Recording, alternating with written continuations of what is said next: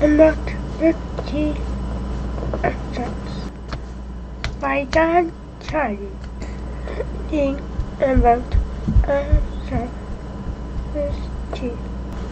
One rule about one rule winning. Now take a close look. Do you find it has another behind?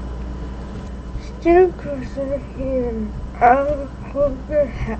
Has it a third row behind that? Now, and, and look out! Oh my, I'll never know now. Oh, goodbye.